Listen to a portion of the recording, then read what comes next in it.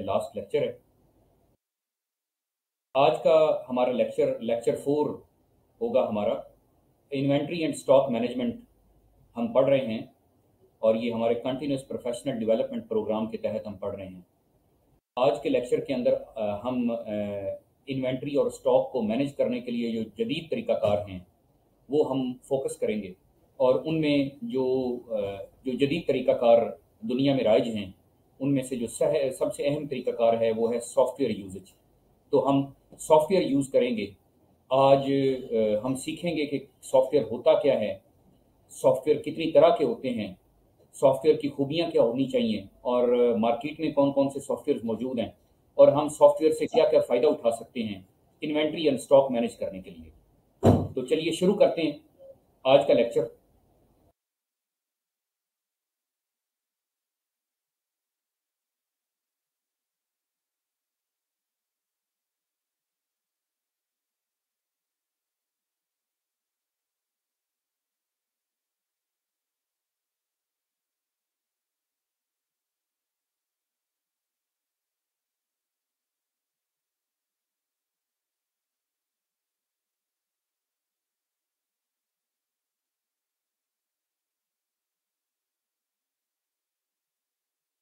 Students मैं अभी एक मिनट के अंदर दोबारा लाइव होता हूँ।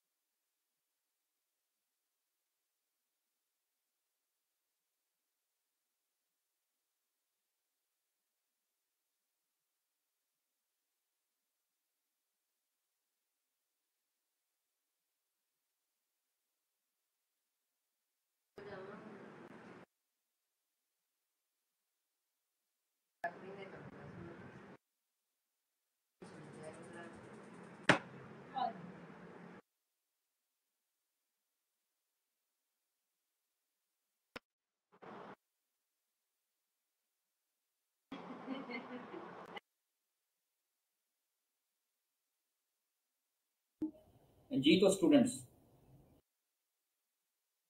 inventory and stock management through softwares हमने अभी स्टार्ट कर दिया है लेक्चर अटेंटिवली आपने सबने सुनना है और जो क्वेश्चंस होंगे वो आप अपने कमेंट सेक्शन में बता सकते हैं। हम अपनी इन्वेंट्री और स्टॉक को सॉफ्टवेयर के थ्रू कैसे मैनेज कर सकते हैं और सॉफ्टवेयर होता क्या है, ये लफ्ज़ जो है वो अगर आपने पहली मरतबा सुना है तो हम उसके ऊपर बात कर लेते हैं। जी तो सॉफ्टवेयर की डेफिनेशन क्या है? ये आपके सामने मैंने स्क्रीन पे शेयर की है। अ कलेक्शन ऑफ़ डेटा एक मिनट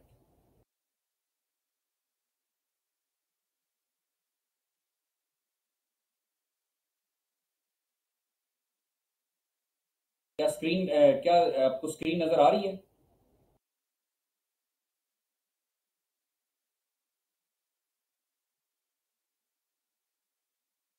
नहीं नज़र आ रही स्क्रीन चलें अब अब देखें।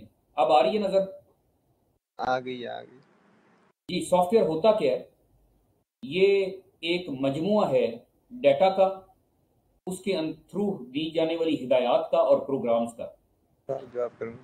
ये कंप्यूटर को या डिवाइस को एनेबल करता है to perform specific task software ऐसी चीज़ है जो कि प्रोग्राम्स डेटा और इंस्ट्रक्शंस का एक मजमुआ है, जो कि हमारे कंप्यूटर को एक ख़ास काम करने के लिए हिदायत जारी करता है, उसकी मदद करता है। इसको कहते हैं सॉफ्टवेयर नुमान अपना म्यूट म्यूट कर ले नुमान ओके उसके बाद एम आई एस क्या होता है?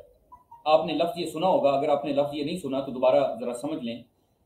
एम आई एस है जी मैनेजमेंट इंफॉर्मेशन सिस्टम यानी कि एक कंप्यूटर बेस्ड सिस्टम है, जो कि कलेक्ट करता है प्रोसेस करता है स्टोर करता है, और फिर उसको डिसिमिनेट करता है, यानी कि फैलाता है, किस चीज़ को? इंफॉर्मेशन को। कंप्यूटर बेस्ड सिस्टम जो कि हिदायत को या मालूम को इकट्ठा करता है, उसको प्रोसेस करता है, फिर उसको अपने पास जमा करके रखता है, फिर मौके के ऊपर जब मौका आता है तो उसको फैलाता है। तो इससे होता क्या है? एमआईएस को यूज़ करने से होता क्या है? या सॉफ्टवेयर या एमआईएस करता क्या है? ये आपको डिसीज़न मेकिंग में आसानी फ्राहम करता है। आपको कोऑर्डिनेट करने में आसानी फ्राहम करता है। कंट्रोल आप इसके थ्रू बेहतर कर सकते हैं। आप रिपोर्ट्स निकाल सकते हैं एनालिसिस कर सकते हैं और आप अपनी ऑर्गेनाइजेशन को बेहतर तरीके से चला सकते हैं एमआईएस के ज़रिए। तो जब भी बात आएगी सॉफ्टवेयर की या एमआईएस की बात आएगी तो वो एक ही बात होगी। आपने उसको कंफ्यूज आपस में नहीं करना। ठीक है जी? तो एमआईएस का मतलब क्या है कि ये जो सिस्टम होगा या जो, ये जो इक्विपमेंट होगा, ये आपके कुछ कामों को मैनेज भी करेगा और आपको इंफॉर्मेशन भी प्रोवाइड करेगा। कुछ सॉफ्टवेयर ऐसे होते हैं जो कि सिर्फ़ इंफॉर्मेशन प्रोवाइड करते हैं, लेकिन कुछ सॉफ्टवेयर ऐसे होते हैं जो कि मैनेज भी करते हैं। तो ये आपने बुनियादी फ़र्क समझना है कि हम ऐसे सॉफ्टवेयर की बात करेंगे जो कि इंफॉर्मेशन प्रोवाइड करने के साथ साथ मैनेज भी करेंगे हमारे जो दी हुई कमांड्स हैं, उनको मैनेज भी करेंगे। ओके तो उसके बाद सॉफ्टवेयर की टाइप्स कितनी हैं? सॉफ्टवेयर की टाइप्स हैं दो तरह की सिस्टम सॉफ्टवेयर और एप्लीकेशन सॉफ्टवेयर सिस्टम सॉफ्टवेयर और एप्लीकेशन सॉफ्टवेयर ये दो टाइप्स हैं। सिस्टम सॉफ्टवेयर क्या होता है? जी। This type of software provides a foundation for running the computer और डिवाइस आपका जो डिवाइस होता है, ज़्यादातर डिवाइसेस दो तीन तरह के होते हैं। एक तो आपका कंप्यूटर होता है, जिसको आप लैपटॉप भी कह सकते हैं या पीसी भी कह सकते हैं। उसके अलावा आपके पास डिवाइस में मोबाइल फोन्स आ जाते हैं और फिर आपके पास डिवाइस में टैब्स भी आ जाते हैं। तो इन, ये सारे डिवाइसेस की बात हो रही है। ऐसे यानी कि ऐसी चीज़ जो कि एक बुनियादी ढांचा फराहम करती है आपके कंप्यूटर को बुनियादी ढांचा, उसको कहते हैं सिस्टम सॉफ्टवेयर ये सिस्टम सॉफ्टवेयर का दूसरा नाम है ऑपरेटिंग सिस्टम ऑपरेटिंग सिस्टम इसमें सिस्टम सॉफ्टवेयर के के अंदर operating system device drivers firmware और यूटिलिटी प्रोग्राम्स इसका पार्ट होते हैं। और इसकी मिसाल है जनाब विंडोज़ आप विंडोज़ यूज़ करते हैं। आजकल आप कौन सी विंडोज़ यूज़ कर रहे हैं? अपने कमेंट सेक्शन में बताएँ। विंडोज़ कौन सी यूज़ कर रहे हैं? तो अगर आपसे कोई पूछे कि आप कौन सा सिस्टम सॉफ्टवेयर यूज़ कर रहे हैं तो उसका मतलब ये होगा कि वो विंडोज़ के बारे में पूछ रहा है आपसे, ठीक है? तो आपने बताना है कि विंडोज़ टेन यूज़ कर रहा हूँ, विंडोज़ सेवन यूज़ कर रहा हूँ। उसके अलावा विंडोज़ नाइन्टी सेवन भी होती है, विंडोज़ टू थाउज़ेंड भी होती है, बहुत पुरानी पुरानी थी। अब तो विंडोज़ टेन और विंडोज़ सेवन ज़्यादा चलती हैं। इसके अलावा एक और तरह का ऑपरेटिंग सिस्टम है, जिसके बारे में शायद आपको ना पता हो लेनेक्स और फिर जो आपके मोबाइल फ़ोन पे जो सॉफ्टवेयर चल रहा है, या जो ऑपरेटिंग सिस्टम चल रहा है, या सिस्टम सॉफ्टवेयर चल रहा है, उसको कहते हैं एंड्रॉयड एंड्रॉयड आप आपने अक्सर सुना होगा एंड्रॉयड फोन्स तो जो गूगल कंपनी है, उसने आपके मोबाइल फोन्स के अंदर जो सॉफ्टवेयर दिया हुआ है, जो सिस्टम सॉफ्टवेयर है, जो कि पूरे मोबाइल को चलाता है, उसको एंड्रॉयड कहते हैं। तो ये हो गया जी, आपका मेन कंप्यूटर का एक एक उसकी बुनियादी ढांचा हो गया, जिसको हम कहेंगे सिस्टम सॉफ्टवेयर उसके बाद है एप्लीकेशन सॉफ्टवेयर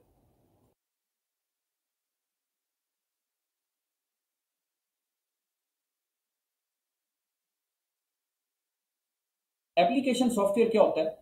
ये ऐप के लफ्ज में, आपने सुना होगा कि यार फलानी ऐप है, ये फलानी ऐप ये करती है, फलानी ऐप इंस्टॉल कर लें।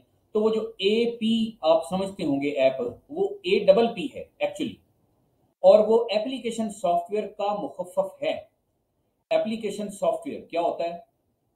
ये स्पेसिफिक टास्क परफॉर्म करता है और स्पेसिफिक फंक्शनैलिटी देता है यूज़र को मुख्तलिफ़ काम करने के लिए. Application software is built on the top of the system software आपने ये बात जेन में रखनी है कि सिस्टम सॉफ्टवेयर के ऊपर एप्लीकेशन सॉफ्टवेयर इंस्टॉल होता है. जब तक आपके पास विंडोज़ नहीं होगी, आपका मीडिया प्लेयर नहीं चलेगा, आपका पेंट का प्रोग्राम नहीं चलेगा, आपका माइक्रोसॉफ्ट वर्ड नहीं चलेगा। तो आपने ये बात समझनी है कि सिस्टम सॉफ्टवेयर पहले इंस्टॉल होता है सिस्टम पे विंडो पहले इंस्टॉल होती है और उसके ऊपर एप्लीकेशन सॉफ्टवेयर इंस्टॉल होता है। मुख्तलिफ़ तरह के एंटी सिस्टम एप्लीकेशन सॉफ्टवेयर होते हैं, जिस तरह वर्ड प्रोसेसर्स हैं, जो कि माइक्रोसॉफ्ट वर्ड है वेब ब्राउजर्स होते हैं। वेब ब्राउज़र कौन सी एग्ज़ाम्पल है? जैसा कि गूगल क्रोम है और ओपेरा है, ये सारे वेब ब्राउजर्स हैं। ईमेल क्लाइंट्स आपको पता है याहू गूगल वगैरह। स्प्रेडशीट कौन सी होती हैं? ये जो माइक्रोसॉफ्ट एक्सेल है, उसको स्प्रेडशीट कहते हैं। तो ये जितने भी हैं, ये एप्लीकेशन सॉफ्टवेयर कहलाते हैं और कुछ कस्टमाइज सॉफ्टवेयर भी होते हैं। हमने कस्टमाइज सॉफ्टवेयर की बात करनी है, क्योंकि हमने फार्मेसी की इन्वेंट्री मैनेज करनी है तो हमने उसके लिए कस्टमाइज सॉफ्टवेयर के लिए जाना है। तो एप्लीकेशन सॉफ्टवेयर की मुख्तलिफ़ किस्में मैंने पहले भी बताई हैं, उनकी जरा डिटेल ये सामने आ गई है। वर्ड प्रोसेसर जो होगा, वो आपके डॉक्यूमेंट्स को तैयार करता है। स्प्रेड शीट जो है, वो न्यूमेरिकल डाटा को अरेंज करती है मैनेज करती है। प्रेजेंटेशन सॉफ्टवेयर आपकी प्रेजेंटेशन और स्लाइड शोज़ बनाता है। इस वक्त जो मैं ये आपको लेक्चर दे रहा हूँ, ये प्रेजेंटेशन सॉफ्टवेयर के ऊपर दे रहा हूँ। उसके बाद है डेटाबेस मैनेजमेंट सिस्टम ये आपके डेटाबेस को मैनेज करने वाले बड़े बड़े सिस्टम्स होते हैं। इसमें माइक्रोसॉफ्ट एक्सेस और माई एसक्यूएल और ओरेकल ये इसकी मिसालें हैं। वेब ब्राउजर्स आपको मैंने पहले मिसाल दे दी है गूगल क्रोम है मोजिला फायरफॉक्स है सफारी वगैरह। उसके बाद ग्राफिक डिज़ाइन के सॉफ्टवेयर हैं जो कि आपकी विजुअल कंटेंट बनाते हैं, जो आपकी एड्स वगैरह बनाते हैं। उसमें अडोब अडोबी फोटोशॉप है अडोबी इलिस्ट्रेटर है ये सारी की सारी एप्लीकेशन सॉफ्टवेयर हैं। ये आपको बताने का जो मकसद है वो ये है कि आपको पता हो कि सिस्टम सॉफ्टवेयर और एप्लीकेशन सॉफ्टवेयर में क्या फ़र्क है। ठीक है? हालाँकि ये एक नेसेसरी डाटा नहीं था, लेकिन मैंने क्विकली आपको एक ओवरव्यू दिया है इसका। कम्युनिकेशन सॉफ्टवेयर इस वक्त हम, जो आपके साथ, मैं आपके साथ, हम कलाम हूँ, हम बात वगैरह कर रहे हैं, हम एक कम्युनिकेशन सॉफ्टवेयर को यूज़ कर रहे हैं और उस कम्युनिकेशन सॉफ्टवेयर सॉफ्टवेयर का नाम है बिगर ब्लू बटन तो बिगर ब्लू बटन के थ्रू मैं आपके साथ कम्युनिकेट कर पा रहा हूँ और मैं आपको जो विजुअल कंटेंट दिखा पा रहा हूँ, वो मैं आपको प्रेजेंटेशन सॉफ्टवेयर के थ्रू दिखा पा रहा हूँ। उसके अलावा कैमरा को ऑन करने के लिए, जो कैमरा के लिए माइक के लिए जो फैसिलिटी अंदर अवेलेबल हो रही है, वो कम्युनिकेशन सॉफ्टवेयर ही उसको ऑपरेट कर रहा है। और इसके बैकेंड पे जो विंडो इंस्टॉल्ड है, मेरे और आपके सिस्टम के ऊपर उसको विंडोज़ 10 मेरे पास विंडोज़ 10 है तो विंडोज़ 10 के थ्रू सिस्टम सॉफ्टवेयर आपको हेल्प कर रहा है ये दो चीज़ें आप तक पहुँचाने के लिए। कम्युनिकेशन यानी कि वीडियो ऑडियो और मेरा जो रिटर्न कंटेंट है, वो आप तक एप्लीकेशन सॉफ्टवेयर पहुँचा रहे हैं। और एप्लीकेशन सॉफ्टवेयर का नाम है बिगर ब्लू बटन जी वेब डेवलपमेंट सॉफ्टवेयर होते हैं जो कि वेब डेवलप करते हैं, उसमें वर्ड प्रेस सबसे ज़्यादा मशहूर है गेमिंग सॉफ्टवेयर भी होते हैं, जिसमें एक्सबॉक्स है स्टीम है एपिक गेम्स है और एक्सबॉक्स गेम पास है। अकाउंटिंग सॉफ्टवेयर हैं जिनमें ज़्यादातर ज़ीरो है और क्विक बुक्स हैं। ये अकाउंटिंग सॉफ्टवेयर हैं। अगर आपने हिसाब किताब करना है तो आप ये कर सकते हैं। एप्लीकेशन सॉफ्टवेयर में और भी आगे मिसालें मौजूद हैं। प्रोजेक्ट मैनेज करने के लिए आपके पास सॉफ्टवेयर होते हैं। उसके अलावा एंटीवायरस के सॉफ्टवेयर होते हैं। जी। प्रोजेक्ट मैनेजमेंट सॉफ्टवेयर हैं, जो कि प्रोजेक्ट को मैनेज करते हैं, इसमें मिसालें उसने असाना और जीरा वगैरह की दी हैं, ये हम यूज़ नहीं करते, ना हमें इसकी ज़रूरत है तो मैंने वैसे मिसाल आपको बताई है। एंटीवायरस आप बिल्कुल यूज़ कर रहे हैं, नॉर्टॉन यूज़ कर रहे हैं मैकेफे यूज़ कर रहे हैं, एवास्ट यूज़ कर रहे हैं, ये आपके एंटीवायरस सॉफ्टवेयर हैं। तो आज अब हमने यहाँ पे बुनियादी सिस्टम समझ लिया कि क्या फ़र्क है एक सिस्टम सॉफ्टवेयर में और एप्लीकेशन सॉफ्टवेयर में। पर्सनल फाइनेंस के सॉफ्टवेयर मैंने आपको बता दिया है। पहले मैंने क्विक बुक्स भी बताया, वो अकाउंटिंग का सॉफ्टवेयर था और क्विक इन जो है, ये फाइनेंस का software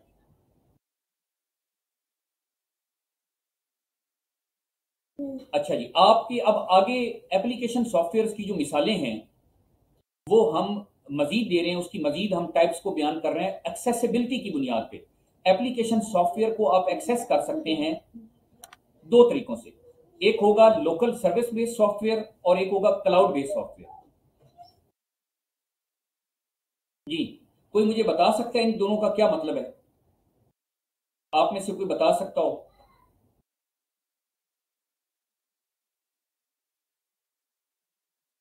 local server based software और क्लाउड बेस्ड सॉफ्टवेयर ये कोई बता सकता हो?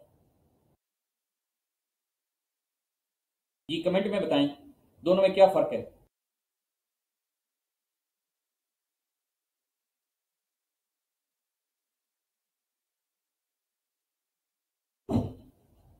जी आप में से कोई बता रहा हो, कोई बताना पसंद करेगा? Local service based server based software या क्लाउड बेस्ड सॉफ्टवेयर आपने पहली मरतबा सुना है। चलें, ठीक है, हम आपको बता देते हैं जनाब। आपने ये सुना होगा कि जी, आपके पास ड्राइवर्स होते थे या सीडी रोम्स होते थे या जब आपके पास इंटरनेट की वो लेवल नहीं था, आपके पास अवेलेबिलिटी का तो आप क्या करते थे?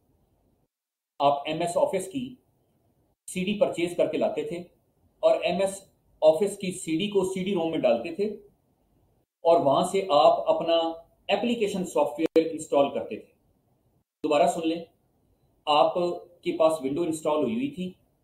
विंडो इंस्टॉल होने के बाद अब आप उसमें माइक्रोसॉफ्ट ऑफ़िस को इंस्टॉल करना चाहते हैं ताकि आप वर्ड के ऊपर या पावर पॉइंट पे काम कर सकें या एक्सेल पे काम कर सकें। तो आप क्या करते थे? आप मार्केट में से माइक्रोसॉफ्ट ऑफ़िस की सीडी लेके आते थे और वो सीडी इंस्टॉल करने के बाद आप उसको आप इंस्टॉल करके यूज़ करते थे। उसको कहेंगे लोकल सर्वर आपका जो सर्वर है, वो लोकली आपके अपने कंप्यूटर में है। वो जो सॉफ्टवेयर है, वो लोकल सर्वर बेस्ड सॉफ्टवेयर ठीक है? आपका अपना सर्वर सी ड्राइव के अंदर मौजूद है। ठीक हो गया? जिसको आपने इंस्टॉल कर लिया। आजकल आप क्या कर रहे हैं? आजकल आप इंटरनेट के ऊपर जा रहे हैं। और इंटरनेट से आप माइक्रोसॉफ्ट 365 या माइक्रोसॉफ्ट ऑफ़िस आप डाउनलोड कर रहे हैं। तो आपने क्लाउड से या इंटरनेट से सॉफ्टवेयर को डाउनलोड किया।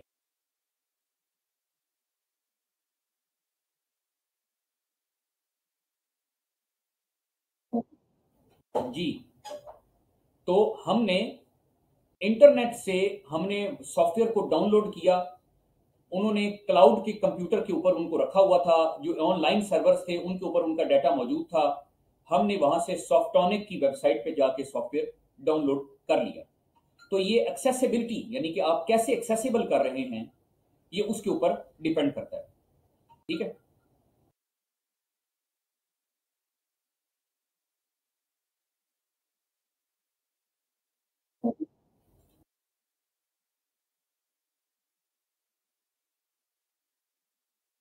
तो आपका जो लोकल सर्वर है, उसकी क्या डेफिनेशन है? Local server based software refers to the software applications that are installed and run on a local server आपके लोकल सर्वर पे वो इंस्टॉल हुई होती हैं और वहीं से रन होती हैं rather than being accessed over the internet और hosted on a remote server remote server की बजाय लोकल सर्वर के ऊपर अगर आपकी एप्लीकेशन सॉफ्टवेयर इंस्टॉल हुआ हुआ है तो वो आपका लोकल सॉफ्टवेयर होगा लोकल सर्वर बेस्ड सॉफ्टवेयर होगा। In this setup software and data reside on a server located within a local network and users access the software through devices their devices connected to the same network same network में जो चार पाँच तीन या दो computer पड़े हुए हैं सिर्फ़ वहीं पे ही डाटा आप एक्सेस कर सकेंगे लोकल जो आपका सॉफ्टवेयर होगा वहीं से ही एक्सेस हो सकेगा इसके एडवांटेजेस क्या हैं आप बड़ा अच्छा कंट्रोल कर सकते हैं ठीक है आप ऑर्गेनाइजेशन जो हैं, वो कंप्लीट कंट्रोल होता है उनके डाटे के ऊपर। कोई और पार्टी उनके डाटे को मिस यूज़ नहीं कर सकती। उसके बाद स्पीड और परफॉर्मेंस भी बहुत बेहतर होती है, उसकी वजह ये कि इंटरनेट की ज़रूरत ही नहीं है। ठीक है जी? सिक्योरिटी भी बहुत ज़्यादा है। साफजार है कि आपने जब इंटरनेट का कनेक्शन ही नहीं लगाया हुआ तो आपके जो सारे आपकी वो फायर हैं, वो सारी मेंटेन्ड हैं। और कोई भी बंदा जो है ना, वो जो हैकर है, वो आपके सॉफ्टवेयर और इंपॉर्टेंट डाटा को ब्रीच आउट नहीं कर सकता। तो ये आपके उसके एडवांटेजेस हैं। कुछ और एडवांटेजेस भी मैं शेयर कर रहा हूँ। ऑफलाइन एक्सेस आप कर सकते हैं, क्योंकि इंटरनेट की ज़रूरत ही नहीं है। आप लोकल सर्वर बेस्ड सॉफ्टवेयर को आप ऑफलाइन एक्सेस भी कर सकते हैं बगैर इंटरनेट के। स्केलेबिलिटी क्या जी? ये can be scaled up by adding more powerful servers और country distributing the load across multiple servers अगर आपका काम बढ़ता जा रहा है तो आप ज़्यादा बड़े बड़े सर्वर्स आप लगा सकते हैं और आप लोड को मुख्तलिफ़ मल्टीपल सर्वर्स के ऊपर डिस्ट्रीब्यूट करके आप अपना मामला चला सकते हैं। ये हैं जी लोकल सर्वर बेस्ड सॉफ्टवेयर की, के फवायद। ठीक है जी? ये बुनियादी कंसेप्ट मैं आपको क्यों दे रहा हूँ, ये मैं आगे चल के थोड़ा सा आपको बताता हूँ। इसके डिसएडवांटेजेस क्या हैं? ये एक्सेसिबल नहीं है। ये सिर्फ़ सेम नेटवर्क के ऊपर ही आप इसको एक्सेस कर सकते हैं। आप इसको दुनिया में कहीं और बैठ के एक्सेस नहीं कर सकते। अगर आपका कंप्यूटर इंटरनेट से कनेक्टेड नहीं है तो आप मुझे ये बताएँ कि आपका जो कंप्यूटर के अंदर सॉफ्टवेयर पड़ा है, उस सॉफ्टवेयर को कोई और एक्सेस कैसे कर सकता है? वो एक्सेस नहीं कर सकेगा। मेंटेनेंस और इंफ्रास्ट्रक्चर आप इसको इसको मेंटेन नहीं कर सकते, आपका सॉफ्टवेयर करप्ट हो जाता है, आप उसके, उसको ट्रबल शूट नहीं सही कर पाते, आप उसका बैकअप नहीं ले पाते, ये आपका नुकसान है। लोकल सर्वर बेस्ड सॉफ्टवेयर का क्या नुकसान है? एक तो आप उसको किसी और जगह से बैठ के एक्सेस नहीं कर सकते, फिर उसको उसको आप अपग्रेड नहीं कर सकते उसकी फिर कॉस्ट भी ज़्यादा होती है। कॉस्ट भी साफ़ है कि जब आपका वो अपना सॉफ्टवेयर है तो अगर उसमें कोई प्रॉब्लम आ जाता है तो आपको अपना सीपीयू उठा के कहीं जाना पड़ेगा किसी बंदे के पास, या बंदे को वहाँ पे बुलाना पड़ेगा पड़ेगा अपने मसले हल करने के लिए। तो आपकी कॉस्ट बढ़ जाएगी। स्केलेबिलिटी लिमिटेशन होंगी। आप उसको लोकल लेवल पे तो स्केलेबल बना सकते हैं, लेकिन आप उसको बियॉन्ड द नेटवर्क यानी कि बियॉन्ड द नेटवर्क बाउंड्रीज आप दुनिया में किसी और कोने पे आप उसको स्केलेबल, यानी कि बड़ा नहीं कर सकते। आप उसको, उससे फ़ायदा कहीं और बैठ के नहीं ले सकते, सिर्फ़ आप उसको लोकल नेटवर्क पे ही उससे फ़ायदा ले सकते हैं। ले जी, ये था था लोकल सर्वर बेस्ड सॉफ्टवेयर अब है क्लाउड बेस्ड सॉफ्टवेयर जो क्लाउड बेस्ड सॉफ्टवेयर है, उसका दूसरा नाम है सास ये वो सास नहीं है, जिसकी हम अक्सर बात कर रहे होते हैं। जी। यहाँ तक कोई स्टूडेंट किसी का कोई क्वेश्चन कोई पूछना चाहता हो, कोई बताना चाहता हो? जी। अब तक हमने सॉफ्टवेयर की एक एग्ज़ाम्पल जो है, वो स्टडी की है। सॉफ्टवेयर की एक एग्ज़ाम्पल है, या उसकी टाइप कह लें, वो थी लोकल सर्वर बेस्ड सॉफ्टवेयर जो कि आपके कंप्यूटर के अंदर मौजूद है, बगैर इंटरनेट के चलता है। उसको कहेंगे लोकल सर्वर बेस्ड सॉफ्टवेयर और दूसरी तरह का होता है जो इंटरनेट के थ्रू चलता है, जिसको आप क्लाउड बेस्ड सॉफ्टवेयर भी कहते हैं, और उसका दूसरा नाम है software as a server service software as a service दोबारा सुन ले सैस सैस कहते हैं इसको. Software as a service software application that are accessed and utilized over the internet जो इंटरनेट के ज़रिए एक्सेस भी किए जा सके और उनको इस्तेमाल भी किया जा सके, उसको कहते हैं क्लाउड बेस्ड सॉफ्टवेयर और rather than being installed on individual computers or servers ये इंडिविजुअल कंप्यूटर्स या लोकल सर्वर के ऊपर ये इंस्टॉल करने की नौबत ही नहीं आती। आपने जस्ट उसका आईडी लॉगिन आईडी यानी कि वेबसाइट आपने उसकी कंप्यूटर में डालनी है। अपने वेब ब्राउज़र में, यानी कि आपने गूगल क्रोम में, आपने वेबसाइट का नाम लिखना है। वहाँ पे वो वेबसाइट खुल जाएगी, उसके अंदर आपने लॉगिन और यूज़र नेम अपना डालना है। लॉगिन क्रेडेंशियल्स आपने डालनी है यूज़र नेम और पासवर्ड तो सीधा आप अपने सॉफ्टवेयर में पहुँच जाएँगे, जो कि आपका ऑनलाइन सॉफ्टवेयर होगा, जिसको आप सैस कहेंगे क्लाउड बेस्ड सॉफ्टवेयर ठीक है? This type of software is hosted and manage by a third party provider ये साफ़ है कि आप तो अब, आप अद्वियात और मेडिकल स्टोर और फार्मेसी का बिज़नेस करते हैं, आप तो आईटी के बंदे नहीं हैं तो आपने किसी थर्ड पार्टी से ये सॉफ्टवेयर लेना है और ये लेके आपने उसको यूज़ करना है तो उसको मैनेज कौन कर रहा है? Third party provider third party manage कर रही है।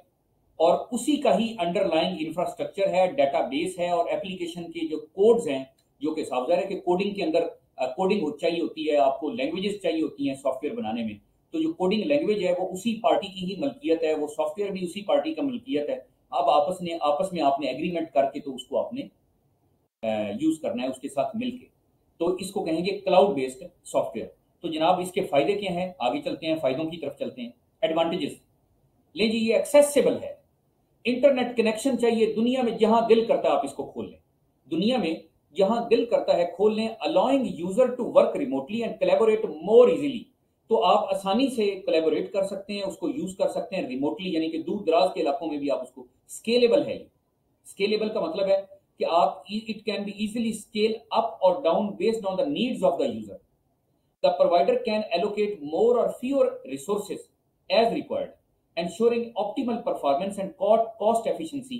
आप जितने यूज़र्स बढ़ाना चाहते हैं, बढ़ा लें, जितने यूज़र्स कम रखना चाहते हैं, आप कम कर लें, आपकी अपनी मर्ज़ी है।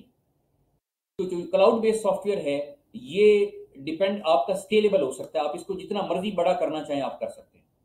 यानी कि आम रूटीन में जो पहले था, जो कि लोकल सॉफ्टवेयर था, उसमें सिर्फ़ एक या दो बंदे या पाँच बंदे ही जो उस कंप्यूटर के साथ जुड़े हुए थे, सिर्फ़ उन्होंने उसको यूज़ करना था। लेकिन अगर क्लाउड बेस्ड सॉफ्टवेयर यूज़ करेंगे तो फिर आप जितने मर्ज़ी यूज़र्स को उनके आईडी बना के दे सकते हैं। कॉस्ट सेविंग भी होती है।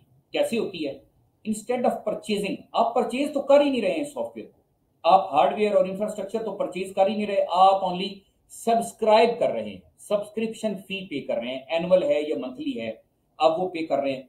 आपके अप फ्रंट कॉस्ट भी नहीं पड़ती आपको। और उसके अलावा ऑन गोइंग मेंटेनेंस कॉस्ट भी नहीं पड़ती। अगर सॉफ्टवेयर खराब हो गया करप्ट हो गया तो आपको कहीं उसको उठा के सीपीयू को उठा के कहीं भागना नहीं पड़ेगा। तो आपका, यानी कि आपकी वो सर दर्द सर नहीं है। आपकी कंपनी जो आपका प्रोवाइडर है, जिसने आपको सॉफ्टवेयर प्रोवाइड किया है, वही उसको ठीक भी करेगा उन्हीं पैसों के अंदर। तो ये कॉस्ट सेविंग है। उसके अलावा जनाब और एडवांटेजेस क्या है? ऑटोमेटिक अपडेट्स जो हैं, आप कर सकते हैं सॉफ्टवेयर में ऑटोमेटिक अपडेट्स और पैचेस जो है ना वो आपका जो प्रोवाइडर है वो आपको प्रोवाइड करेगा। लेटेस्ट फीचर्स सिक्योरिटी इनहेंसमेंट्स भी वो आपको प्रोवाइड करेगा। डेटा बैकअप और रिकवरी बड़ा प्रॉब्लम आता है जनाब। सॉफ्टवेयर तो ले लेते हैं लोग। विंडो उड़ती है बैकअप नहीं रखा होता, जनाब उनका डाटा चला जाता है, जाया हो जाता है। यहाँ पे क्लाउड बेस्ड सॉफ्टवेयर में आपका जो रिकवरी और डाटा बैकअप का मैकेनिज्म होता है, वो उन्होंने यानी कि आपके प्रोवाइडर ने सर्विस प्रोवाइडर ने डेवलप किया हुआ होता है, जिसकी वजह से रिस्क ऑफ़ डाटा लॉस जो है, वो बहुत हद तक कम हो जाता है। और आप रिलैक्स हो जाते हैं पीस ऑफ़ माइंड हो जाता है। जैसा कि मिसाल के तौर पे हम आपके फेसबुक आईडी की बात कर लेते हैं। आपका फेसबुक आईडी आज से 12 साल बना, पहले बना या 15 साल पहले बना तो क्या आप को ये कभी टेंशन हुई है कि क्या आपकी जो आपने कोई पिक्चर आज से आज दस साल पहले लगाई थी तो वो दस साल पहले जो आपको पिक्चर संभालने की टेंशन बनी रही हो, आपके लिए फेसबुक जो है वो डाटा बैकअप और रिकवरी का काम कर रहा है। उसके बड़े बड़े सर्वर्स हैं जो कि वो आपके डाटा को महफूज करके बैठा हुआ है। और जब कोई टाइम आता है तो आप वो डाटा वापस अपने पास फेच कर लेते हैं। आप उससे ले लेते हैं और आप डिस्प्ले कर देते हैं अपना डाटा आप पुरानी पुरानी अपनी तस्वीरें जो फेसबुक को आपने दी होती हैं, आज से दस दस साल पहले जब आप चुने मुने होते हैं तो वो जो चुने मुने वाली तस्वीरें आपकी, वो भी आपकी फेसबुक आपको दिखा रहा होता है। तो कितना ज़बरदस्त सिस्टम है कि आप डाटा बैकअप और रिकवरी जो है वो कर रहे हैं और वो भी मुफ़्त में, अपने खर्चे पे नहीं। जी, आप इंटीग्रेट कर सकते हैं और कंपेटिबल क्लाउड बेस्ड सॉफ्टवेयर जो हैं वो अदर एप्लीकेशन और अदर सिस्टम्स के साथ इंटीग्रेट भी हो सकते हैं, जिसकी वजह से आपका जो वर्क फ्लो है वो मजीद स्ट्रीमलाइन हो सकता है और आप डिफरेंट टूल्स या डिफरेंट सॉफ्टवेयर के दरमियान में डाटा शेयरिंग भी कर सकते हैं। मिसाल के तौर पे, आपका दिल करता है कि जी विंडो मीडिया प्लेयर में से आप कोई चीज़ उठा के ऑटोमेटिकली वो सॉफ्टवेयर लिंक हो जाए विंडो मीडिया प्लेयर आपका लिंक हो जाए सपोज़ वीएलसी मीडिया प्लेयर के साथ।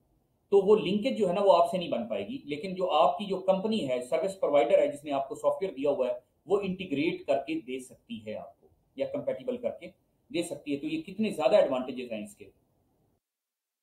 जी, आगे चलते हैं जनाब। उसके बाद जनाब क्लाउड बेस्ड सॉफ्टवेयर की एग्जांपल्स क्या होती हैं? ये जरा हम थोड़ी सी शेयर कर लेते हैं आपके साथ। ये जनाब मुनीब ने ये बात की है। फेसबुक की स्टोरी आप इंस्टाग्राम पे भी पे पोस्ट करना चाहते हैं, ये भी एक एग्जांपल होगी। यस यस बिल्कुल, ये जनाब वो सिस्टर कंसर्न कंपनीज़ हैं। एक ही मालिक है मेटा कंपनी का नाम है, उसी की ही फेसबुक है, उसी की ही व्हाट्सएप है, उसी की ही जनाब अपना, आजकल तो क्या है वो इंस्टाग्राम है और थ्रेड्स भी है। ठीक है जी थ्रेड्स का नाम आपने सुना है? ट्विटर के कंपटीशन पे आपके वो एक एप्लीकेशन सॉफ्टवेयर आया है सेम टू सेम जैसा ट्विटर काम करता है, वैसे थ्रेड्स आया है, ठीक है? तो जनाब, ये सारे क्लाउड बेस्ड सॉफ्टवेयर हैं, आप इनको वेबसाइटें अकेले वेबसाइटें ना समझें, ये पूरी पूरी पूरे पूरे पीछे बैकएंड पे, पूरे पूरे डाटा बेसिस इनके पड़े हुए हैं तो ये क्लाउड बेस्ड सॉफ्टवेयर हैं और इनको हम सैस भी कहते हैं। सैस का मतलब मैंने आपको बताया है सॉफ्टवेयर एज अ सर्विस तो आपके पास कस्टमर रिलेशनशिप्स को मैनेज करने के लिए जो सॉफ्टवेयर होते हैं, वो C R S M system होते हैं जिनमें जो आप सेल्स फोर्स को कंट्रोल कर सकते हैं। उसके अलावा आप प्रोडक्टिवली प्रोडक्टिव की कोलेबोरेशन टूल्स बेहतर अपने तरीके से आप गूगल वर्कशीट्स वर्क स्पेस को आप यूज़ कर सकते हैं। माइक्रोसॉफ्ट 365 जिसको पहले माइक्रोसॉफ्ट ऑफ़िस कहते थे, वो भी आपका प्रोडक्टिविटी सॉफ्टवेयर है, वो भी क्लाउड बेस्ड आजकल हुआ हुआ है। ठीक है जी? आप एक्सेल पे कोई भी काम कर रहे होते हैं, अगर वो क्लाउड बेस्ड है तो ऑटोमेटिकली वो एक्सेल आपका सेव हो जाता है क्लाउड के ऊपर और आपको डाटा घूमने की टेंशन होती नहीं है। जनाब, आप कौन सा किसी एजेंसी के नुमाइंदे हैं कि जनाब आपका डाटा बहुत कीमती है? ठीक है? तो जो आपका डाटा है, वो जब आप क्लाउड बेस्ड माइक्रोसॉफ्ट 365 इस्तेमाल करते हैं तो आपका डाटा महफूज रहता है, वो उड़ता नहीं उसके बाद जनाब प्रोजेक्ट मैनेजमेंट सॉफ्टवेयर हैं, जो ये भी क्लाउड बेस्ड हैं, आसान और ट्राइस क्या नाम है? ट्रेलो जी। उसके बाद है जी अकाउंटिंग एंड फाइनेंस सॉफ्टवेयर भी हैं जो कि जिनको हम मिसाल, हमने क्विक बुक्स ऑनलाइन है और ज़ीरो है। उसके बाद ह्यूमन रिसोर्स मैनेजमेंट सिस्टम्स हैं, जैसा कि बैम्बो और वर्कडे ये एच आर मैनेजमेंट के क्लाउड बेस्ड सॉफ्टवेयर हैं, जो कि कंपनियाँ प्रोवाइड कर रही हैं ऑलरेडी ठीक है ना जी? हर चीज़ उन्होंने बनाई हुई है। ले जी, अब यहाँ से आगे हम अपनी अपनी कहानी शुरू करते हैं। अपनी कहानी हमारी क्या है? साफ़ ज़ाहिर है कि हमने कंप्यूटर की चीज़ें सीखने शुरू कर दी। तो कंप्यूटर की चीज़ें तो हमने इतनी नहीं सीखनी ना हमने। हमने अपनी चीज़ें भी सीखनी है। हमने अपने अपने मामले भी हल करने हैं। हमने अब तक यहाँ जो कंसेप्ट अपना क्लियर किया है, वो हमने सबसे पहले सॉफ्टवेयर के बारे में हमने समझा कि सॉफ्टवेयर क्या होते हैं। फिर उसके बाद हमने उनकी टाइप्स के बारे में बात की कि सॉफ्टवेयर दो तरह के होते हैं। एक एप्लीकेशन एक सिस्टम सॉफ्टवेयर होते हैं और दूसरे एप्लीकेशन सॉफ्टवेयर होते हैं। ये थी उनकी यूजेज की बुनियाद पे और एक्सेसिबिलिटी की बुनियाद पे सॉफ्टवेयर की भी दो किस्में हैं। एक हैं जी जो कि आपके लोकली यूज़ होते हैं और एक आपके क्लाउड बेस्ड होते हैं या इंटरनेट बेस्ड होते हैं। तो अब तक हमने दो तरह की टाइप्स हमने पढ़ी सॉफ्टवेयर की विद रिस्पेक्ट टू यूजेज और दो तरह की टाइप्स हमने पढ़ी विद रिस्पेक्ट टू एक्सेसिबिलिटी और अब हम बात करते हैं क्लाउड बेस्ड सॉफ्टवेयर के अंदर ही फार्मेसीज के सॉफ्टवेयर की। फार्मेसीज के लिए सॉफ्टवेयर जो मार्केट में दस्तियाब है इंटरनेशनल मार्केट की बात हो रही है। तो जनाब, वो कौन कौन से सॉफ्टवेयर हैं? Pioneer R X Pioneer R X ये एक सॉफ्टवेयर क्लाउड बेस्ड है इंटरनेट बेस्ड है। उसके बाद है जी लिबर्टी सॉफ्टवेयर जनाब लिबर्टी सॉफ्टवेयर भी एक सॉफ्टवेयर है। जो कि क्लाउड बेस्ड है। बेस्ट आर एक्स उसके बाद अगली मिसाल है आर एक्स थर्टी फिर है जी प्राइम आर एक्स फिर फ्रेमवर्क एल टी सी है। फिर केयर पॉइंट फार्मेसी सॉफ्टवेयर है। ये मैंने कुछ एग्जांपल्स जो है ना वो फार्मेसीज के लिए यूज़ होने वाले सॉफ्टवेयर की दी हैं। अब जनाब मैंने यहाँ पे आपके लिए एक अभी अभी ताज़ा ताज़ा असाइनमेंट बनाई है। आप मुझे ये बताएँ कि ये तो मैंने आपको इंटरनेशनल क्लाउड बेस्ड सॉफ्टवेयर बता दिए। पाकिस्तान की मार्केट में, पाकिस्तान की मार्केट में कौन कौन से सॉफ्टवेयर पहले यूज़ हो रहे हैं? जरा वो मुझे कमेंट्स में बताएँ। जी, उस्मान कुछ कहना चाहते हैं? उस्मान? कमेंट्स में बताएँ कि पाकिस्तान की मार्केट में कौन कौन से सॉफ्टवेयर यूज़ हो रहे हैं? उनके नाम क्या हैं? अबू जर। अबू जर के अलावा बताएँ। अबू जर के अलावा। जी।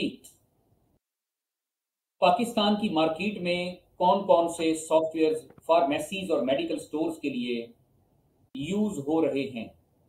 जी जी, बोले बोले। एजी पोस्ट सोल्यूशन के नाम से एक नया सॉफ्टवेयर है जी। हाफिज साहब ने बताया है। उसके अलावा बताएँ, उसके अलावा और बताएँ।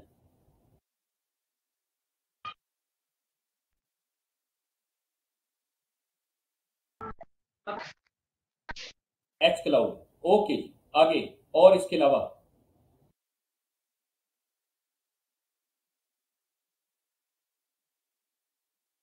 साथ साथ आप, आपको मैं ये भी आपसे पूछना चाह रहा हूँ कि जो भी आप सॉफ्टवेयर का नाम आप मुझे बताएँगे, साथ आपने ब्रैकेट में ये भी बताना है कि वो क्लाउड बेस्ड है या वो लोकल सर्वर बेस्ड है। ये भी आपने मुझे बताना है। तो अबू जर के बारे में मुझे बताएँ कि वो क्लाउड बेस्ड है या लोकल सर्वर बेस्ड है। मुझे फिर बताने का फ़ायदा होना, नज़र आना चाहिए ना कि मैंने इतनी देर लगा के तमहीद बांधी है। मैंने आधा घंटा लेक्चर इसी बात पे दिया है कि सॉफ्टवेयर की कितनी किस्में होती हैं। तो मुझे पता होना चाहिए कि अबू जर कौन सी तरह का सॉफ्टवेयर है। जरा बताएँ मुझे। जमील ने बताया है, अबू जर लोकल बेस्ड है। एस क्यू क्या होता है?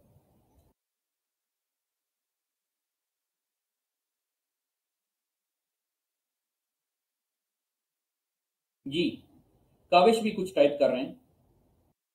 अच्छा एस क्यू जी क्लाउड बेस्ड है जी एस क्यू ठीक है। S Q is cloud based Abu Zar local based ठीक हो गया।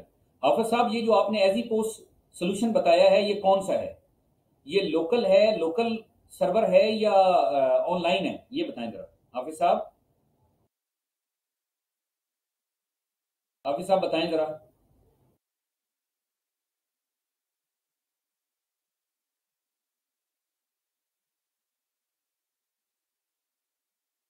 ये क्या जी सर, हाफिज साहब, ये बताना है कि आपने जो एजी पोस्ट सोल्यूशन बताया है सॉफ्टवेयर ये लोकल सर्वर बेस्ड है या क्लाउड बेस्ड है? या इंटरनेट पे चलता है या इंटरनेट के बगैर भी चल जाता है? ये बताएँ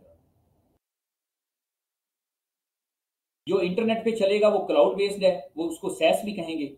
और जो इंटरनेट के बगैर चलता है, वो लोकल सर्वर है। जी, बताएँ बताएँ, जल्दी क्विकली हाँ जी हाफिज साहब ने ये बताया कि ये जो एजी पोस्ट सोल्यूशन हैं ये इंटरनेट के बगैर भी चल जाता है। जी ठीक हो गया। जनाब वेरी गुड है। ये आ, आ, कोई और डॉक्टर साहब अभी बता रही हैं। कोई और सॉफ्टवेयर भी आपके हमारे सामने आ जाएगा।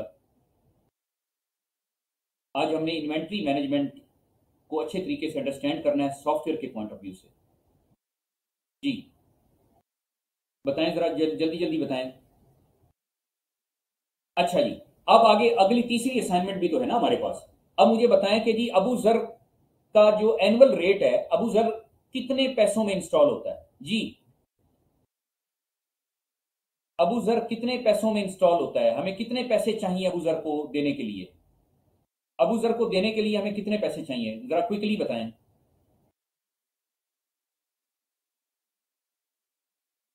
जी। बताएँ जरा। पचास हज़ार रुपया चाहिए। जी कल्ला साहब ने बताया है कि अबू जर को इंस्टॉल करवाने के लिए चूँकि वो लोकल बेस्ड सॉफ्टवेयर है हमारे कंप्यूटर के ऊपर इंस्टॉल होगा और वो इंटर, इंटरनेट बेस्ड नहीं है इंटरनेट की उसके लिए ज़रूरत नहीं है। तो जनाब पचास हज़ार रुपये हमें चाहिए अबू जर को देने के लिए। इसके अलावा बताएँ ये कोई और किसी की अगर कीमत आपको पता है तो वो भी बताएँ।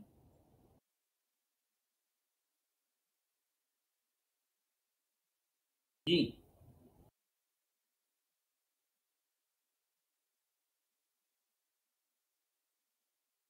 हाँ जी, मुनीब ने भी बताया चालीस से पचास हज़ार रुपया हमें चाहिए होता है। ठीक है, और बताएँ। मैं ये अर्ज़ कर रहा हूँ कि अबू जर के अलावा किसी और की कीमत का आपको पता है? जरा वो भी बताएँ जरा।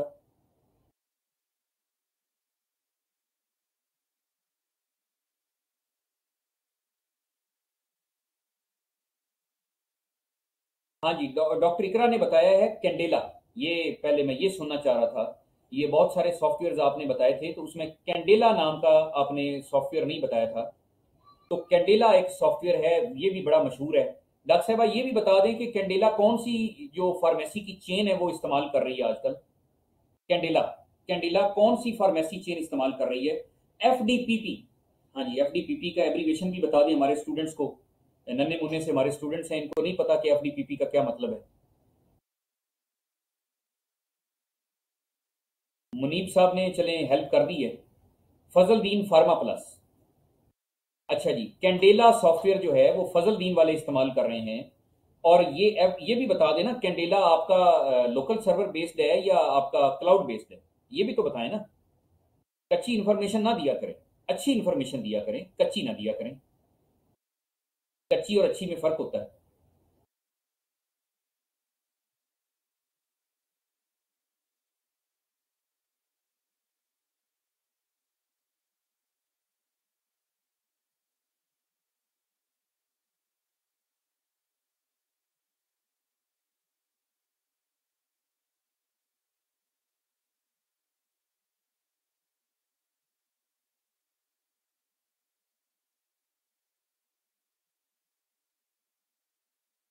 जी जी, ये बिल्कुल फजल दीन फार्मा प्लस पे जो सॉफ्टवेयर कैंडेला इस्तेमाल हो रहा है, वो लोकल बेस्ड है।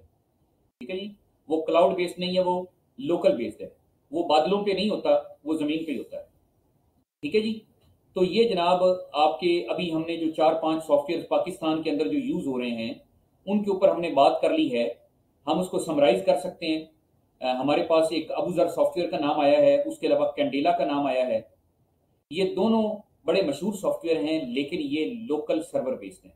लोकल सर्वर बेस्ड हैं। मैं ये दोबारा आपको बता दूँ अबूजर और कैंडेला ये दोनों लोकल सर्वर बेस्ड सॉफ्टवेयर हैं और जो आजकल का दौर चल रहा है, अब आप, की माशाल्लाह एक से ज़्यादा फार्मेसीज होंगी और एक आपकी फार्मेसी गुजरात में होगी, दूसरी गुजरावाला में होगी, तीसरी मंडी बहाउद्दीन में होगी। तो जनाब आप फिर कैसे, यानी कि आप उसको एक्सेस कर सकेंगे सॉफ्टवेयर को? ठीक है ना? आप तो परेशान रहेंगे। या फिर आपको टीम वेयर इंस्टॉल करना पड़ेगा या एनी डेस्क इंस्टॉल करना पड़ेगा, फिर आप जाके उस कंप्यूटर में घुस सकते हैं। ठीक है ना जी? तो जनाब, ये तो जो सिस्टम है काफ़ी पुराना हो गया है और अगर विंडो उड़ जाए तो आप क्या करेंगे? ये भी बताएँ जरा। लोकल की जब विंडो उड़ती है तो उसके बाद क्या हाल होता है? फिर आपको सीपीयू उठा के जाना पड़ता है कहीं पे। अच्छा जी, राहील साहब कह रहे हैं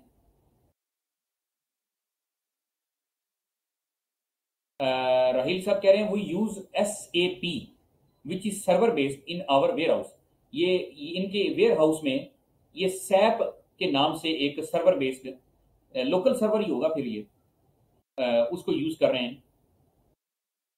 तो हाफिज साहब ने एक और एक कमेंट दिया है कि जी, सर जी, वैसे जो अबू जर सोल्यूशन है, वो सेवेंटी एटी परसेंट फार्मेसीज पर इस्तेमाल हो रहा है। देखें इस्तेमाल हो रहा है। बहुत अच्छी बात है अच्छा सॉफ्टवेयर है तो इस्तेमाल हो रहा है। तो आ, लेकिन जदीद दौर के तकाजे कुछ और कह रहे हैं। आप मुझे ये बताएँ कि क्या अब आजकल के दौर में जहाँ पे आप चाहते हैं कि आपको विंडो उड़ने की टेंशन ना हो आप उसको किसी और जगह से भी एक्सेस कर सकें आप ए, ए, उसकी मंथली सब्सक्रिप्शन पर पे, पे कर सकें आपको उसकी हाई कॉस्ट बियर ना करनी पड़े। तो इन दैट केस अब आपको क्लाउड बेस्ड सॉफ्टवेयर के ऊपर जाना चाहिए उसूली तौर पर ठीक है? और क्लाउड बेस्ड सॉफ्टवेयर जो हैं, ये much much and much better हैं लोकल सर्वर बेस्ड सॉफ्टवेयर से। क्या आप मुझसे एग्री करते हैं? ये मैंने जो जुमला बोला है cloud based software are much better than local server based software क्या आप मेरे साथ इतफाक करते हैं? कमेंट्स में लिखें कि यू एग्री विद मी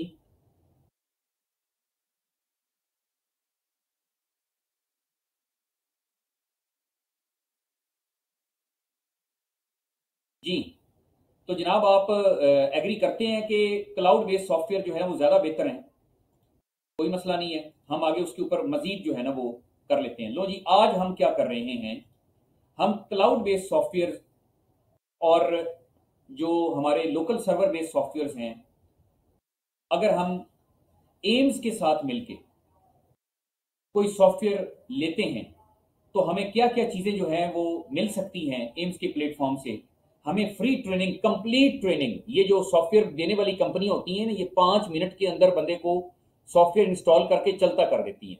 तो बहुत सारे आपके जो टैब्स और ऑप्शन ऐसे होते हैं, जिनको यूज़ करने की नौबत ही नहीं आती यूज़र को।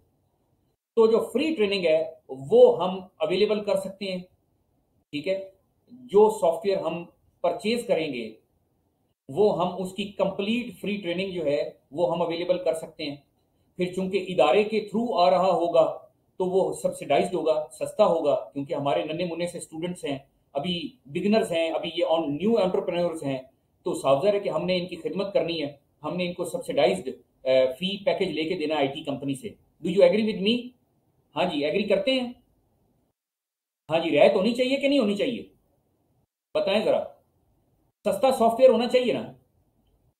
सॉफ्टवेयर सस्ता होना चाहिए? हाँ जी डॉक्टर इकरा कह रही हैं जी बिल्कुल रियायत होनी चाहिए और ये बिल्कुल होनी चाहिए। अच्छा जी कस्टमाइजेशन भी होनी चाहिए ना। कस्टमाइजेशन क्या चीज़ होती है? आपने जो अपनी मर्ज़ी की चीज़ें अंदर डलवानी है, वो आप डलवा सकें। डलवा सकते हैं कि नहीं डलवा सकते? क्यों जी? डलवानी चाहिए। और अगर आप किसी ऐसी कंपनी वाले सपोज़ आप अबूजर वालों से बात करते हैं, आप उन्हें कहते हैं कि जी मुझे ये फला ऑप्शन बीच में चाहिए तो हो सकता है वो आपसे कहें कि जी एक लाख या दो लाख रुपए दे दें तो हम आपको कस्टमाइज कर देते हैं। तो जो कस्टमाइजेशन है ये तो बड़ी मुश्किल है भाई। वेब डेवलपर के लिए या सॉफ्टवेयर डेवलपर के लिए बहुत मुश्किल है। आप क्या इसको इजी समझते हैं? आपकी मर्ज़ी के मुताबिक बीच में ऑप्शन डालना या आपकी मर्ज़ी के मुताबिक रिपोर्ट जनरेट करना आसान नहीं है। तो जनाब कस्टमाइजेशन भी हमें होनी चाहिए, हमें फैसिलिटी मिलनी चाहिए। और फार्मेसी के जो अकाउंट्स हैं, उसके लिए अब हमें अकाउंट अकाउंटेंट रखना पड़ेगा। नहीं भाई, हम उसी सॉफ्टवेयर को अकाउंटिंग के लिए भी इस्तेमाल करना चाहिए हमें। तो हमारी अकाउंट्स मैनेजमेंट है, वो भी आपकी उसी सॉफ्टवेयर के थ्रू होनी चाहिए। फिर वो अपडेट होता रहना चाहिए अपडेशन होनी चाहिए उसकी लगातार, और फिर उसकी कस्टमर सर्विस होनी चाहिए, बंदा फ़ोन ही ना उठाए आपका। ठीक है ना जी? आपकी, आपने किसी कंपनी वाले से सॉफ्टवेयर परचेज किया पचास हज़ार रुपए में, और उसके बाद जनाब आपका वो फ़ोन ही नहीं पिक कर रहे, और इधर से कस्टमर आपका जो है ना वो आपका सर खाई जा रहा है कि जी मुझे बिल चाहिए। मान साहब? आप हाँ जी तो मुनीब साहब भी ये एग्री कर रहे हैं, बाकी हाफिज साहब भी एग्री कर रहे हैं, बहुत सारे लोग एग्री कर रहे हैं कि जी हमारे पास ये ये सहूलियात होनी चाहिए जिस भी कंपनी का हम सॉफ्टवेयर लें। तो ये हमारे पास ये ये सारी सहूलियात होनी चाहिए। इसके अलावा भी बहुत से, अब हम अब हम क्या क्या हमें मजीद सहूलियात मिलनी चाहिए, हम आगे देख लेते हैं। हमारे पास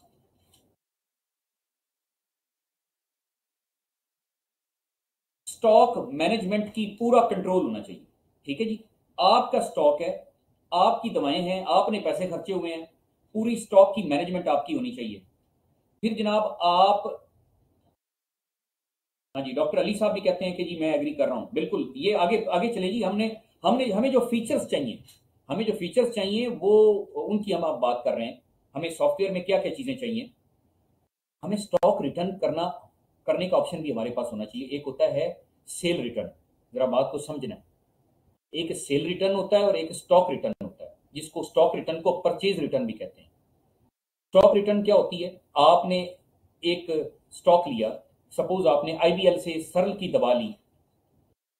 वो जनाब अब आपने वापस करनी है, वो नहीं चल रही आपके पास। आपने उसको वापस करना है तो आपके सॉफ्टवेयर में ये खूबी होनी चाहिए कि आप उसकी परचेज रिटर्न डाल सकें, वो आपके सिस्टम में से आउट हो जाए।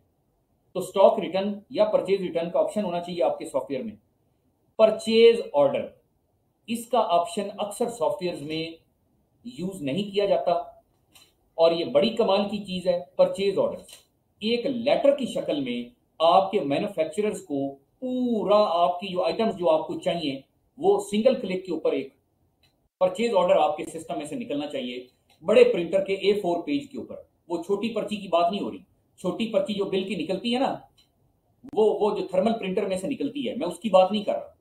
मैं बात कर रहा हूँ आपके बड़े कंप्यूटर बड़े प्रिंटर में से ए फोर के पेज के ऊपर एक बेहतरीन सा परचेज ऑर्डर निकले जो कि आप अपने वेंडर को दे सकें और आपका वेंडर कहे कि जी, क्या प्रोफेशनल लोग हैं कि जिन्होंने इतना बेहतरीन परचेज ऑर्डर हमें दिया। ठीक है? और आपको अभी इसकी अहमियत का नहीं पता वो आगे चल के मैं बताऊँगा कि परचेज ऑर्डर की कितनी अहमियत है। ठीक है जी? वो कह रहे हैं जी हमारे हाफिज साहब कह रहे हैं कि हमारे सोल्यूशन में परचेज रिटर्न का ऑप्शन है। ये तो कॉमन ऑप्शन है। परचेज ऑर्डर की बात कर रहा हूँ। ये ऑप्शन बहुत सारे सॉफ्टवेयर में मौजूद नहीं होता। उसके अलावा मिस्ड सेल्स मिस सेल्स का ऑप्शन भी होना चाहिए। रैक्स एलोकेशन बहुत कम सॉफ्टवेयर के अंदर ऑप्शन होता है। कि जनाब, आपका जो नया लड़का है, जब वो सर्च करे कि फला दवाई सपोज़ टेफ ट्वेंटी कैप्सूल्स वो कौन से खाने में पड़े? तो जनाब वो टेफ ट्वेंटी को टाइप करे, साथ सामने और सामने रैक और शेल्फ का नंबर आ जाए तो ये भी बहुत कम सॉफ्टवेयर के अंदर होता है। रैक्स एलोकेशन जो है, ये बहुत इंपॉर्टेंट है। आपको मैं ये बता दूँ कि आपका लड़का आपके लिए खतरनाक है। अब आप कहेंगे, जी, आपका लड़का खतरनाक है। मतलब आपका जो सेल्समैन है और वो अनट्रेंड है और शेल्फ पे पड़ी हुई दवाई के बावजूद उसको दवा नहीं मिल रही और वो कस्टमर को कह रहा है कि भाई, ये हमारे पास नहीं है। तो फिर क्या फ़ायदा हुआ? ये सारी चार लेक्चर पढ़ाने का इन्वेंट्री एंड स्टॉक मैनेज करने का, जब आपका लड़का ये कह दे कस्टमर को कि हमारे पास नहीं है दवा। बुरी बात। क्यों जी? स्टूडेंट्स बुरी बात है ना? ये बुरी बात है। और क्या ऐसे होता है? क्या आपका लड़का कस्टमर को चलता करता है जब उसको दवा नहीं मिलती खाने में से? बताएँ जरा।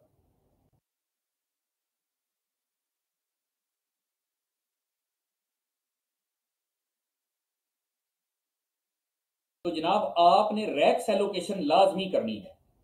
मोस्टली काबिश कह रहे हैं कि मोस्टली ऐसे ही होता है। साहब जरा, ऐसे होना है भाई, उसने जान छुड़ानी है, वो बहुत फारिग आदमी है, वो आपकी तरह बिज़ी थोड़ी है, ना उसकी जेब में से पैसे लगे हैं। तो रैक्स एलोकेशन इंतहाई इंपॉर्टेंट है जो आपके सॉफ्टवेयर के अंदर ये ऑप्शन होना चाहिए और आपने उस ऑप्शन को भरपूर तरीके से यूटिलाइज करना है। मैंने आपको सिखाया कैसे यूज़ करना है।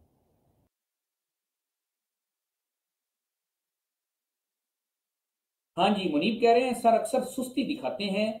सेल्समैन सिस्टम में चेक किए बगैर कह देते हैं कि हमारे पास नहीं है। यार वेरी गुड है वेरी गुड बिल्कुल ऐसे ही करते हैं। हमने इनका इलाज सोचा हुआ है।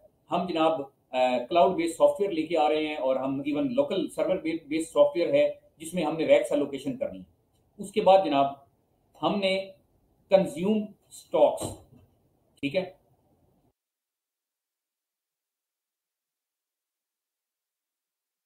जो हमारे कंज्यूम हो गए हैं, वो हमने उसकी इंफॉर्मेशन गैदर करनी है।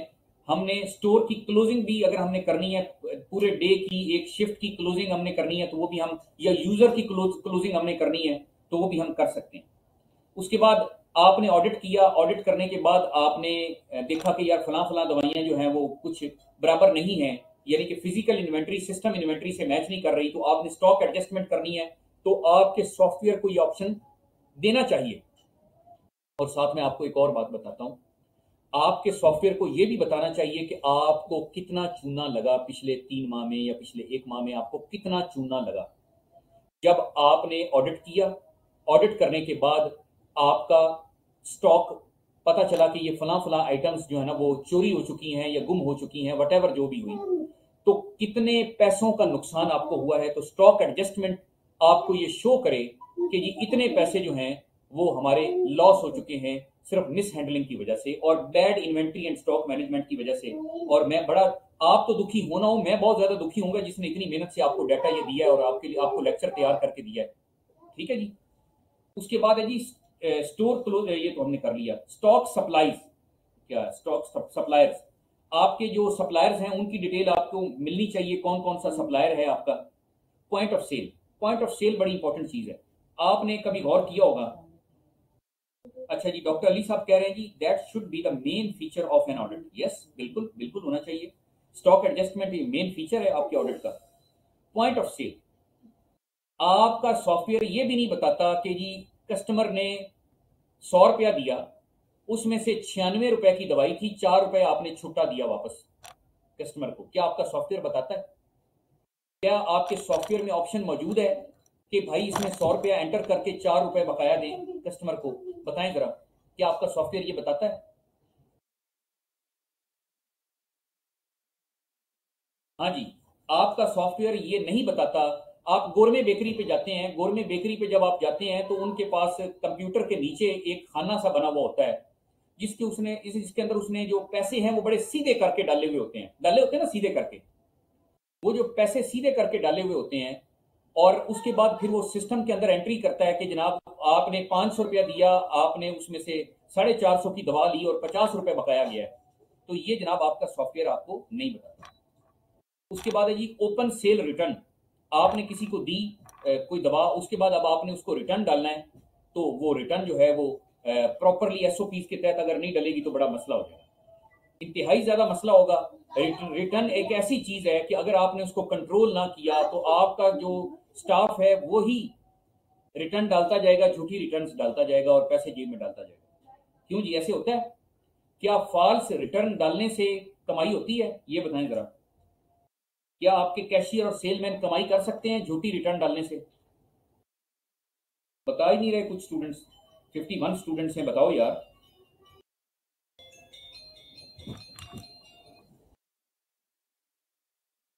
क्या आपका कैशियर या आपका सेल्समैन रिटर्न डालता है तो पैसे उसकी जेब में जा सकते हैं कि नहीं?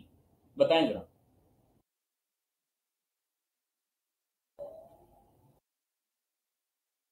पैसे उसकी जेब में चले जाते हैं। देखें, अगर उसके पास आपने उसको रिटर्न डालने के राइट्स दिए हुए हैं तो वो दवा रिटर्न कर देगा सॉफ्टवेयर के अंदर, हालाँकि उसको फिजिकली दवा कस्टमर वापस करके नहीं गया होगा। कस्टमर दवा वापस करके नहीं, मिसाल मिसाल एक ले लेते हैं। आपने एक कस्टमर को मिक्सटार्ड सेवेंटी थर्टी इंसुलिन बेची, वो आपसे चार कार्ट्रिजेस लेके गया या चार वाइल्स लेके गया। कस्टमर चला गया। आप ठीक आधे घंटे के बाद आपके स्टाफ ने उन चार में से एक को रिटर्न डाल डाल दिया और उसके जो पैसे थे तीन चार सौ रुपए उसने साइड पे कर दिए। और आपको पता ही नहीं है। आप बॉस को पता ही नहीं है। तो जनाब, वो ओपन सेल रिटर्न इतनी खतरनाक है, अगर आपने उसको सही मैनेज ना किया तो। जी, इसके अलावा जो आप सॉफ्टवेयर के ज़रिए आपको रिपोर्ट्स मिलनी चाहिए फीचर्स के बाद, वो आपको ट्रांजैक्शन की रिपोर्ट्स मिलनी चाहिए कि कैसे आपकी कस्टमर कितने एक दिन में आए, फिर कितने कितने कस्टमर को कौन कौन सी नार्कोटिक्स की दवाएँ बेची, उनका प्रेस्क्रिप्शन आपने महफूज किया डॉक्टर का नाम लिखा, ये भी आपने नार्कोटिक्स का डिटेल जो है ना वो आपके पास आ जाएगी। फिर आइटम वाइज सेल जो है, एक आइटम एक दिन में कितनी बार बिकी, वो भी आपको पता चल जाएगा। कौन से डॉक्टर ने आपको बहुत ज़्यादा कस्टमर दिए? डॉक्टर वाइज सेल भी आपको निकालनी आनी चाहिए, आपको रिपोर्ट उसकी मिलनी चाहिए, ताकि पता हो कि आपने कौन से डॉक्टर की कितनी टीसी करनी है। ठीक है जनाब? उसके बाद दूसरी आप एंगल है कि जी डॉक्टर कहता है, जी मैं आपको इतने कस्टमर भेजता हूँ और आप उसको जाके रिपोर्ट दिखा देते हैं कि जी आप बताएँ कौन से आपने पेशेंट भेजे लेकिन वो तब होगा जब आपने जेनवन डाटा डाला हुआ होगा। आप लो स्टॉक्स की रिपोर्ट निकाल सकते हैं, जो दवाएँ आपके पास शॉर्ट हो रही हैं, जिनका स्टॉक कम है, उनकी आप रिपोर्ट निकाल सकते हैं, आप इनकम की स्टेटमेंट निकाल सकते हैं। आप परचेज की रिपोर्ट्स निकाल सकते हैं कि आज के दिन में आपने कितना माल खरीदा, वो परचेज रिपोर्ट्स आप निकाल सकते हैं। टोटल एक दिन में कितने डिस्काउंट आपने दिए? कुल मिला के अगर आपने पचास हज़ार की सेल की तो उसमें से आपने तीन हज़ार रुपये डिस्काउंट की मद में दे दिया। वो आपने कितना दिया डिस्काउंट वो भी आपको पता चल जाएगा। और एंड पे फिर जनाब आपको प्रॉफिट एंड लॉस स्टेटमेंट भी मिलनी चाहिए कि जनाब आपने एक महीने में क्या खोया, क्या पाया। ठीक है जी? आपके अखराज कितने थे? आपके मुनाफा कितना आया? वो सारी चीज़ें जो है वो आपको पता चलेगी। उसके अलावा आपको डेड स्टॉक पता चलेगा। और एक्सपायरी पता चलेगी। ठीक है जी? उसके बाद जनाब आइटम वाइज परचेज पता चलेगी। एक्सपायरी बड़ी इंपॉर्टेंट है। आपकी दवा अगर शेल्फ पे पड़ी पड़ी एक्सपायर होगी तो वो आपके लिए घाटे का सौदा है, नुकसान हो जाएगा आपको। ठीक है जी? आप यानी कि आपने उसको एक्सपायर नहीं होने देना। पेंडिंग पेमेंट्स आपने किसी को उधार दिया हुआ है, भाई आपको पता है आजकल उधार जाता है तो आपने कितना उधार लिया हुआ है, दिया हुआ है किसी को? पेंडिंग पेमेंट्स के अंदर आपने, आपको ये पता चलेगा, आपके मैन्युफैक्चरर कौन से मैन्युफैक्चरर से आपने एक महीने में कितना माल खरीदा, वो भी आपको पता चल जाएगा, और एक्सपायरी रिपोर्ट भी आपको पता चल जाएगी। एक्सपायरी जो है ना, वो दो दफ़ा लिखा गया यहाँ पे। ठीक है जी? अब मैं आपको इसका डेमो देता हूँ।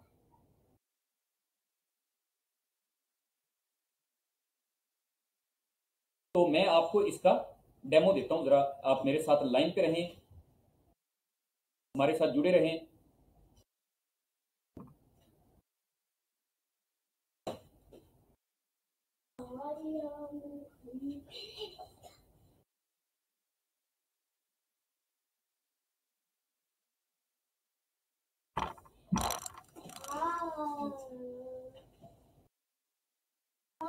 मैं आपको डेमो दे रहा हूँ।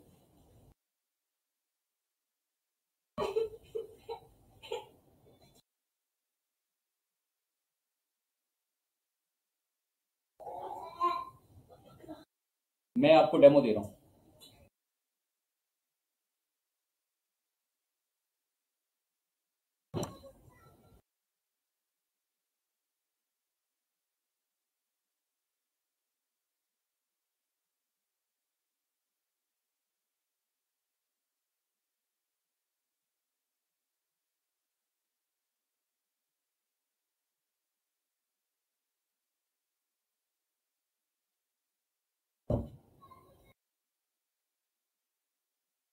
जी स्टूडेंट्स आपको कोई डेमो नज़र आया या अभी नहीं? अभी आपको स्क्रीन ही नज़र आ रही है। या स्क्रीन नहीं नज़र आ रही? जरा बताएँ जरा। स्क्रीन नज़र नहीं आ रही?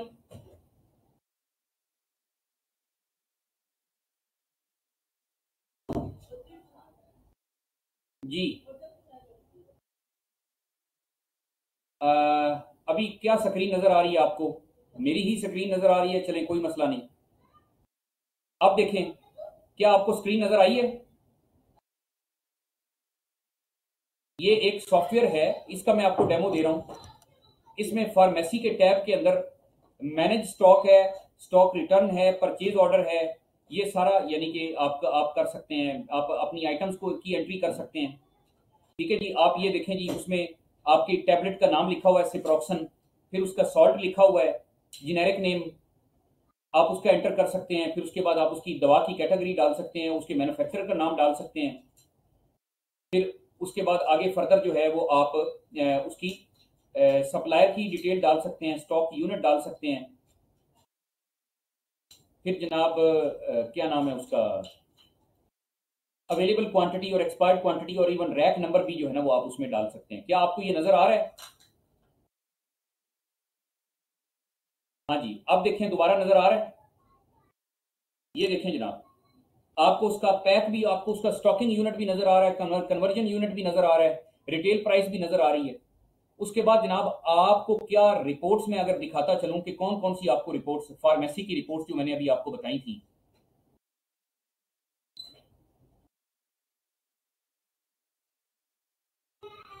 आपको ट्रांजैक्शन की डिटेल्स की रिपोर्ट अगर चाहिए तो वो भी आपको मिल जाएगी, नारकोटिक्स की भी मिल जाएगी।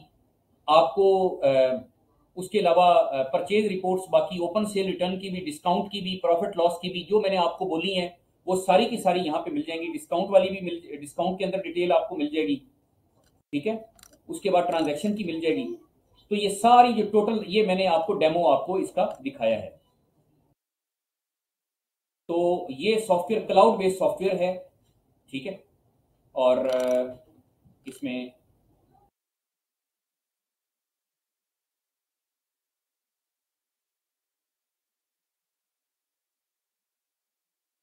मैंने आपको ये सारी रिपोर्ट्स जो यहाँ पे लिखी हुई हैं, वो आपको ये सारी रिपोर्ट्स उसके अंदर दिखाई हैं। ठीक है जी? और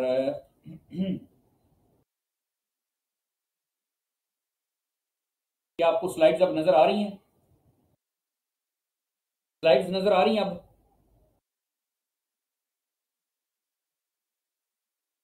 ओके अच्छा अभी हमारा यानी कि क्या है जनाब? यहाँ पे अगर आपका कोई क्वेश्चन है तो पूछें। यहीं पे। सॉफ्टवेयर का नाम मैं बता देता हूँ आपको, हाफिज साहब। सॉफ्टवेयर का नाम भी बताता हूँ। और आगे बताएँ अपना कोई क्वेश्चन है यहाँ तक तो। आपके चारों लेक्चर्स में से किसी को कोई क्वेश्चन है तो वो भी पूछ लें अभी।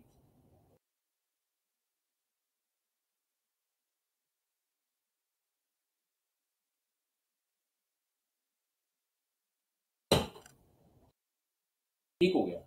अच्छा जनाब, अब हम बहुत सारी चीज़ें, बहुत सारी रिपोर्ट्स और बहुत सारी चीज़ों के लिए आपने कनेक्टेड रहना है एम्स के साथ, ठीक है? और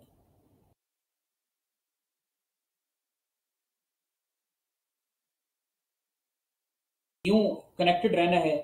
क्योंकि हमने आपको, आपके मसाइल हल करने के लिए आपके बिल्कुल साथ शाना बशाना मौजूद रहना है। ये सॉफ्टवेयर और इस तरह के कस्टमाइज सॉफ्टवेयर एम की जो आईटी टीम है, वो पाकिस्तान की लीडिंग आईटी कंपनीज़ के साथ मिलके ये सारे सॉफ्टवेयर खुद से रेडी कर रही है। हमारे ऑलरेडी मार्केट में चल रहे हैं सॉफ्टवेयर अगर आपने या आपके किसी जानने वाले ने एम्स के साथ मिलके इन सॉफ्टवेयर को यूटिलाइज करना है, आपने आगे इनको यूटिलाइज करके तो बेनिफिट्स उठाने हैं। आपने मार्केट के अंदर मौजूद जो मुख्तलिफ़ सॉफ्टवेयर हैं, उनसे ज़्यादा बेहतर सॉफ्टवेयर इंजॉय करना है। तो जनाब, आपने एम्स ग्रुप ऑफ़ कॉलेज के साथ जुड़े रहना है। जस्ट आपने कनेक्टेड रहना है एम्स ग्रुप ऑफ़ कॉलेज के साथ। ठीक है जी? तो अब यहाँ पे मैं अपने लेक्चर को इख्ताम उसका करूँगा। और ये जो सॉफ्टवेयर है, इसके लिए आपने एम्स की मैनेजमेंट टीम के साथ रबता कर लेना है। वो आपको प्रॉपरली गाइड कर देंगे ट्रेनिंग के हवाले से भी फैसिलिटी के हवाले से भी डिस्काउंट्स के हवाले से भी कस्टमाइजेशन के हवाले से भी वो आपको गाइड कर देंगे। मैं उम्मीद करता हूँ कि आपका ये जो मॉड्यूल है स्टॉक एंड इन्वेंट्री मैनेजमेंट का ये बेहतरीन गुजरा होगा और बेहतरीन रहा होगा। आपने इसमें से बहुत सीखा होगा। मुझे दुआओं में याद रखिएगा और एम्स के साथ जुड़े रहिएगा। इनशाला हम एक नए मॉड्यूल के साथ, मैं आपके साथ, आपके पास दोबारा हाजिर होऊँगा। तब तक के लिए अल्लाह हाफिज। शुक्रिया।